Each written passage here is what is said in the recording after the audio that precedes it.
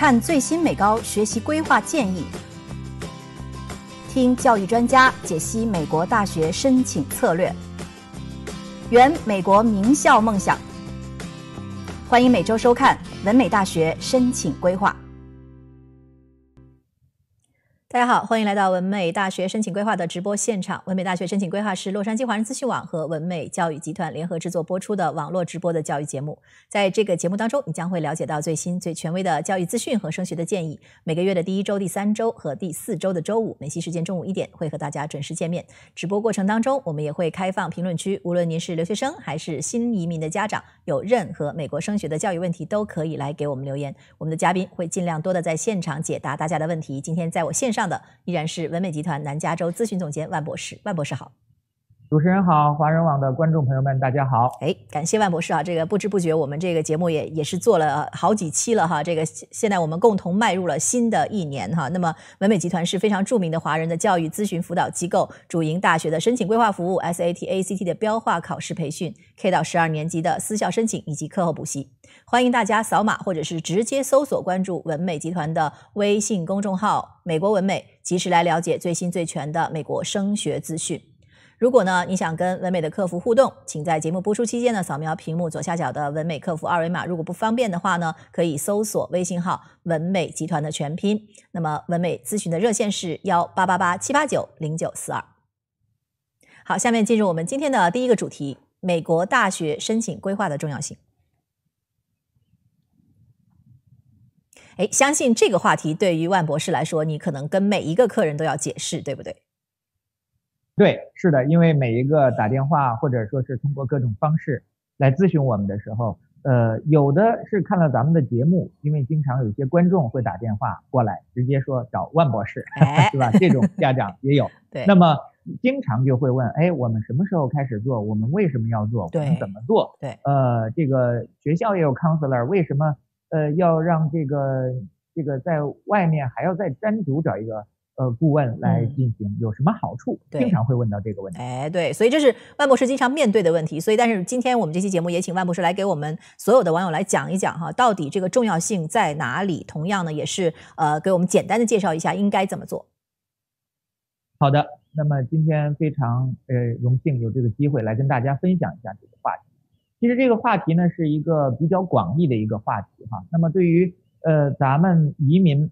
家长移民的孩子们来说，那么呃来到一个陌生的国家，那么在这个呃国家里要适应各个方面的呃它的不同的系统、不同的体系，是吧？举个例子，那么在美国看病医疗系统，然后跟国内也不一样，那么教育系统也是非常重要的一个组成部分，也是非常不一样的。对。那么在这种情况下的话呢，如何？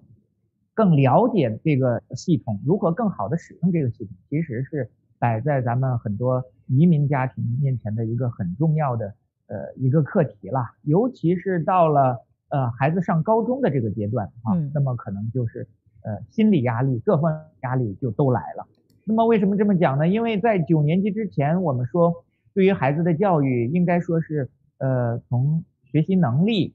呃，身体素质、道德情操这几方面啊，对孩子进行培养。那么，呃，相信大部分家长，无论是在中国生活还是在美国生活，他们都能够找到自己相对比较适合的一种方式方法。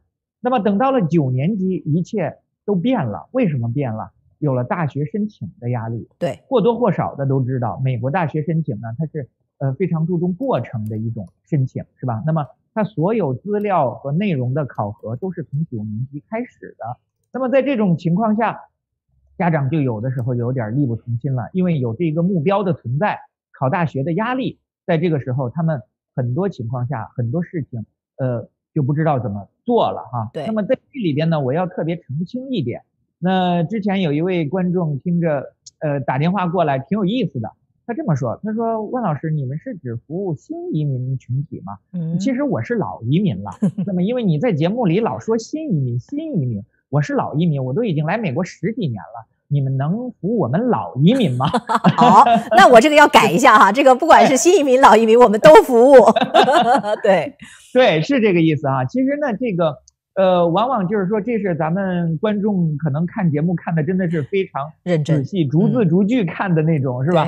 那么我这里边也解释一下啊，其实咱们做节目嘛，或者咱们平时聊天儿就一语带过了。对，呃，所谓的新移民也好，老移民也好，移民也好，还是在美国出生的也好，其实我，呃，统统意义上来说吧，只要从家长这个层次，是吧？无论你是二十年前、三十年前来的，呃，还是你是最近三五年来的，那么只要你是第一次，你说你是从一个国家移过来的，那么我就都叫他新移民了，是吧？所以，呃，但是对于孩子呢，他就分了两种，是吧？有一种呢是跟随父母一块儿过来的，可能呃五岁、八岁、十岁，是不是十几岁呃来的？对那么还有一类呢，就是哎，家长是移民，但是孩子呢，其实已经是在美国出生长大的了这就是刚才那位家长说的，我是老移民，是吧？我孩子在美国出生长大的，现在上高中了。嗯，对所以呢，这个像这些个家庭的话呢，其实他们或多或少的，即便在美国生活了十几年，他们可能关专注于自己的工作，呃，或者于专注于自己他呃熟悉范围之内的事情。但是对于这个升学规划、大学申请这一块儿，呃，如何利用资源，如何来呃规划孩子的申请，其实是呃有很多未知的东西的。那么在这个过程中呢，我经常举例子哈，我说，哎，咱们如果在国内说考大学，是不是？那么，呃，没听说谁还找个咨询顾问，顶多是嗯，呃补一些课程，是吧？因为每个人都是在这个体系下长大的，那么什么时间该干什么事儿，怎么干，都很清楚啊。所以呢，那什么样人呃在国内需要找顾问？那是外国人，是不是？外国人在国内生活呢，他要高考考清华北大了。他也要找一个顾问来咨询一下，看怎么安排，怎么弄，是不是能够进去？哎，那同样的道理，咱们来到美国之后呢，也是面临了这么一个情况。对，那么就是说，很多资源啊，咱们没有办法系统的花时间去了解，或者说你可以有时间去了解，但是摆在你面前的话呢，你只是一个个案，是吧？那么你如何把最充分的资源、最准确的信息传递给孩子，其实是面临一个很大的挑战。所以在这个时候呢，如果有一个呃专业的机构能够呃帮助你们开始这样的一个过程，引领着你们什么事情该做，什么事情不该做，如何做，是吧？那么当然就非常重要了。那有一些家长呢，他说：“哎呀，不规划是不是？我先让孩子好好学习，是不是？那么学习不好也没用，是吧？那么我十一年级、十二年级，呃，再规划，是吧？呃，这个话对吗？有一半是对，有一半不对，是吧？为什么呢？当然，对的地方当然是孩子的成绩是非常重要的，不是说有了规划就成绩什么样的都都都无所谓了，是吧？不是，其实呃，咱们不能走极端哈，以为说来了美国就是真正的素质教育了，是吧？要看孩子的综合性的一个呃发展，是不是？我孩子不行，成绩不行也没关系，其实也不是的，嗯，成绩还是摆在一个非常重要的一个位置。既然叫综合素质，对，所谓的综合那，它肯定是包括学业这一部分的。那么既然是说，呃，它是一个竞争性的录取，那么自然而然的话呢，在整个呃申请的录取的过程中，那么各个方面都存在着竞争，学习成绩存在着竞争，你的个人的综合素质也存在着竞争。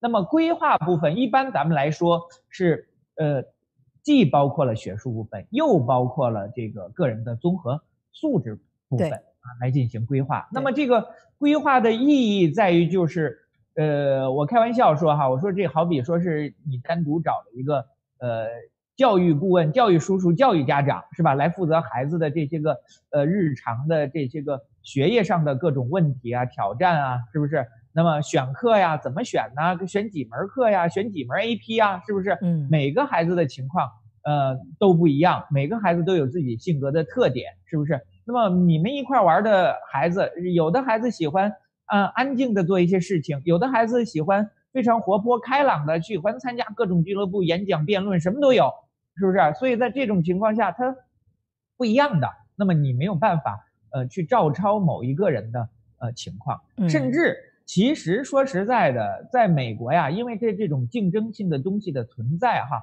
你要问你的一些个呃朋友，尤其是美国朋友，你说你这个，呀，这个你你有对大学申请有什么想法，有什么概念啊？嗯是不是？咱们明年就要上大学了，你你准备了没有？你在做什么呀？他给你来一句什么？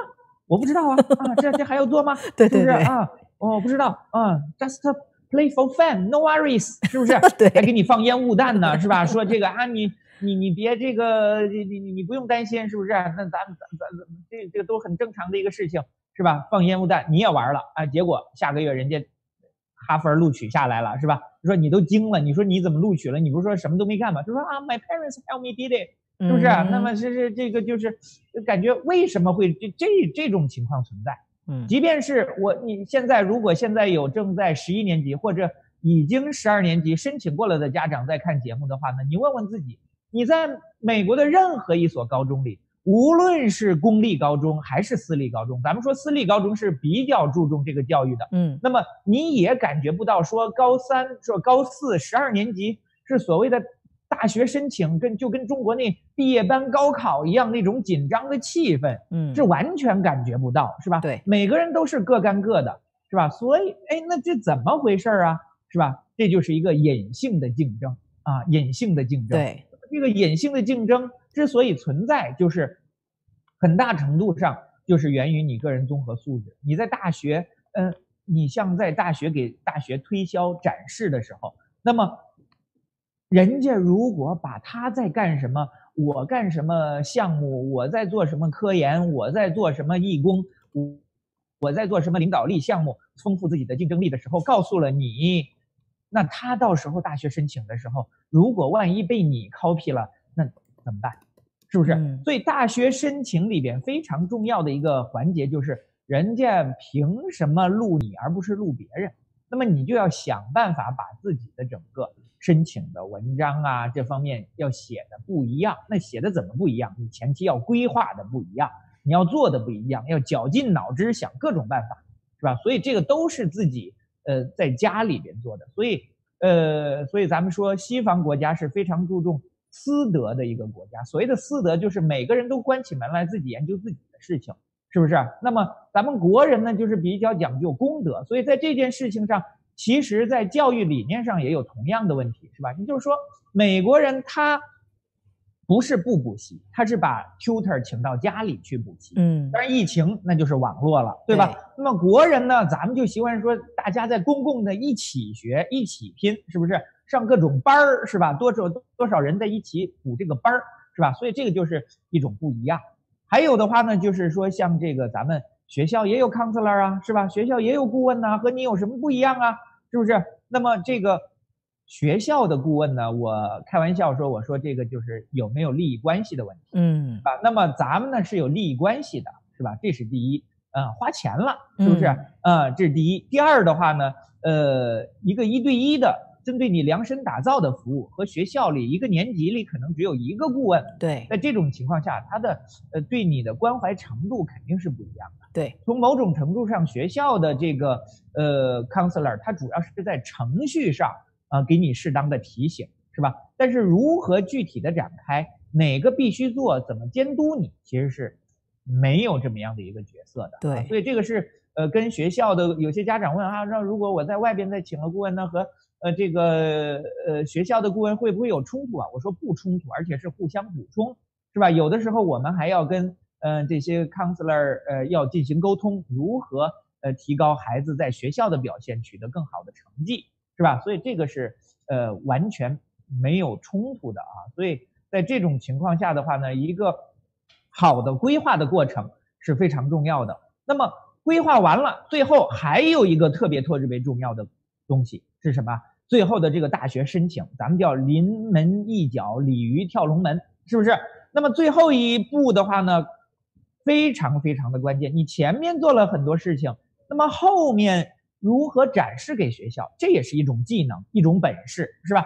那么有些孩子各方面很优秀啊，我见过很多非常非常优秀的孩子，那么他们优秀到呃各方面真的是很厉害啊，就从小啊就是可能呃就是非常的棒，尤其是有些有我也接触过一些父母，那么他们可能也在美国读书啊，然后就是所谓的老老移民了，他们都是在美国长大的，是吧？然后呢，呃，孩子呢，当然他们就有一些经验了，孩子的也非常棒。那么在这种情况下升大学，最后结果不理想。那么我用一个形象的比喻，我说这叫什么呢？我说明明这个孩子是满分十分，但是在他在向大学展示的时候呢，他把自己展示成了一个六分、七分甚至五分这么一个情况。所以明明很厉害，结果他没有让学校看到他厉害、优秀的那些方面，反而不理想。那么有些孩子呢，他只有五分、六分、七分，但是他懂得自己包装，或者说是呃提升。展示自己是吧？那么他反而是九分十分被很多学校录取了。那么有些家长就跟我抱怨说：“这多不公平啊！他们这又包装又升华的，是不是？弄的这弄虚作假，是不是？那这个呃嗯，这个非常不公平。那我怎么看这个事情呢？我说，呃，从某种程度上，那我肯定是反对造假的，造假是不行的。对，但是我是非常支持。呃，在大学申请的文章申请的过程中，对自己的个人形象给予适当的包装和提升，这个我是非常鼓励的。嗯啊，那么我经常举一个形象的例子，我说这好比说明天你要去面试了，那么你要去找工作是吧？首先你要明确一点，那是你求着人家，你想去别人家工作，你想让别人我给你工作吧，你给我一份薪水，是不是？这是一个逻辑。所以呢，就跟我今天跟大家战士面前，我要穿上西装，带上领带，是不是给大家一个比较正式、比较精神的这么一种专业的形象？对，是不是让别人觉得，哎呀，那你起码你来面试我，那你很重视这个事情。你如果我穿一 T 恤是吧，穿一拖鞋这个这个人字拖我就去了，是吧？人说你出去是吧？所以这个 对，就是这么一个过程，对吧？那么。所以这就是一个适当的包装，但是有一个最大的前提。那么我去面试了，我化妆化的好不好？是不是？我是粉底抹的厚一点、薄一点？我要提前研究这个招生官的性格特点，他是喜欢红嘴唇的还是粉嘴唇的？是不是？对这他这他不喜欢这浓妆艳抹的，我就淡一点是不是？所以呢，这个就是要研究你对方的喜好，然后你要自己的适当的夸张。对，那平时你不是这样的人，我不可能在家里我天天穿着西装做饭吃饭，这是不是就这些事情，对吧？所以呢，这种适当的夸张和戏法，这个度在哪儿啊？其实有的时候也是很多呃家长或者孩子自己把握不住分寸的，所以在临门一脚也是非常重要的。所以有这么一个顾问，在前期给你一个很好的规划，后期。呃，在申请的时候能够帮你把握这个分寸，我觉得还是非常非常有帮助的。而且这个规划的意义不仅仅是为了大学，当然咱们可能从目的上说是为了大学，但是如果你能提早把这个规划展开，让孩子系统的做很多义工领导力特长的事情，其实对孩子一生他个人的成长、性格的塑造都是有非常非常多的好处啊。所以在这种情况下呢，呃。有些家长说，十一年级、十二年级是完全错误的，规划的黄金期应该是九年级、十年级，对吧？因为你在这个时间的话呢，你的他的课业压力相对小一点，是吧？那么他才有更多的时间把很多基础性的东西准备出来啊。所以呢，还是鼓励大家，呃，早早的有这么一个顾问啊，能够帮助你，然后系统的，然后无论是在前期的规划，还是在最后临门一脚。啊，能有一个哎呃很好的一个过程，那这样的话呢，呃，让孩子能够系统化的呃学习，让他少走弯路啊，这样效果是最好的。哎，是的，所以其实这个万博士你讲到了一个比较重要的一点哈，就是这个。定制其实就是说，这个规划其实是一个私人定制的这样的一个教育的这样的一个一个形式。所以呢，呃，我觉得这个现在所有的事情都在讲定制这件事情哈。所以我觉得这个还是很重要的。有很多的朋友可能觉得，呃，学校的这个顾问就已经足以了，但是其实并不是，有一个私人定制的顾问才能够为你量身打造很多的东西。